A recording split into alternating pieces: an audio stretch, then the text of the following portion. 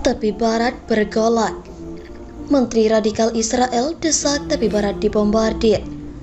Negara Islam bersatu siap ratakan Zionis Yahudi.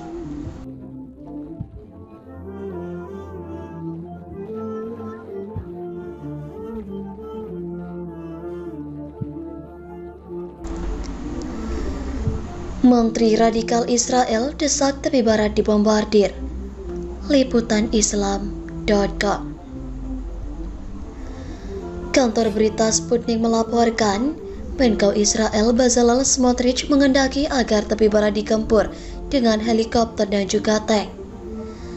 Kami minta dari PM Benyamin Netanyahu untuk memanggil delegasi Israel dari Aqaba, Yordania. Cuit pejabat Israel yang dikenal radikal ini. Desakan ini disampaikan Smotrich menyusul operasi Berani Syahid di Nablus yang menewaskan dua orang Zionis. Setelah operasi Berani Syahid tersebut, situasi di kawasan itu memanas dan gerombolan orang-orang Zionis membakar sejumlah titik.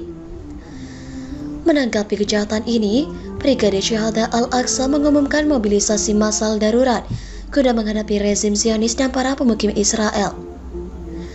Orang-orang Zionis menargetkan tepi barat dan Quds dengan agresi-agresi keji mereka, kata staf kantor Humas Jihad Islam Dawud Sahab kepada Al-Mayadin.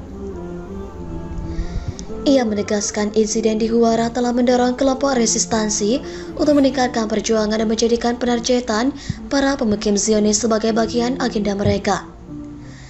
Sembari menyatakan bahwa peningkatan perlawanan adalah salah satunya, jawaban kepada terorisme dan kejahatan rezim Zionis. Sahab berkata, siapa pun yang bicara soal pengeraman konfrontasi, tujuannya adalah mensucikan Israel dari kejahatan-kejahatannya. Sementara itu menanggapi serbuan para pemukim Zionis di Nablus dan pertemuan di Aqaba Yordania, Jubir Hamas Abdul Latif Al-Ghanu menyatakan bahwa pertemuan itu telah memberi lampu hijau kepada Israel untuk melakukan lebih banyak kejahatan aparat keamanan Nablus harus bergabung dengan rakyat melawan orang-orang Zionis. Jalur Gaza berada dalam kemarahan, gejolak dan revolusi yang dipicu oleh insiden Huara, kata Al-Ghanu. Tepi barat bergolak, dua orang Zionis tewas dan satu orang Palestina gugur. Satu orang Palestina gugur akibat serangan pasukan dan masa Zionis terhadap warga Palestina di Nablus tepi barat pada Ahad malam 26 Februari. Kementerian Kesehatan Palestina mengumumkan bahwa Sami Hamdallah Mahmud Aktas, 37 tahun gugur diterjang peluru tajam di bagian perut dalam serangan pasukan pendudukan dan pemukim Zionis ke distrik Zatara, Nablus.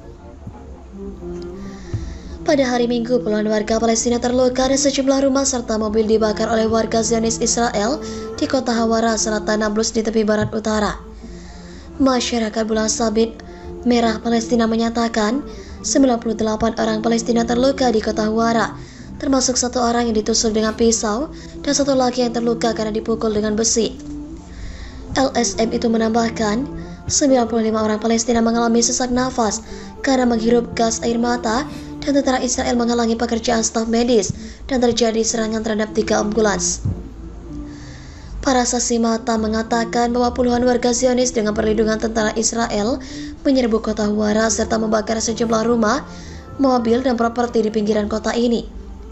Beberapa penggalan video yang tersebar di media sosial memperlihatkan sejumlah rumah dan showroom mobil terbakar.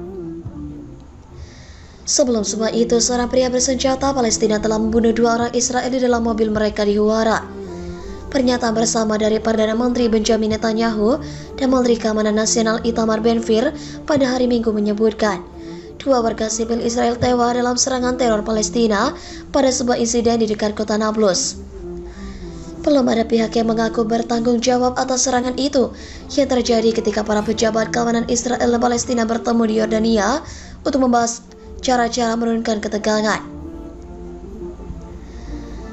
Pasukan Israel sedang mencari penyerang serta menutup beberapa pos pemeriksaan. Hamas memperingatkan Israel akan konsekuensi dan dampak dari pelepasan senjata para pemukim terhadap warga Palestina di tepi barat. Dalam sebuah pernyataan, Hamas menyuruhkan kepada warga Palestina di tepi barat untuk kontribusi solidaritas yang mendesak dan pembentukan keadaan yang melindungi rumah dan juga harta benda warga serta menghadapi para pemukim. Sejak awal tahun ini, sedikitnya 65 orang Palestina gugur diterjang peluru Israel, termasuk 11 orang selama serangan tentara Israel di kota Nablus, di tepi barat utara pada hari Rabu pekan lalu.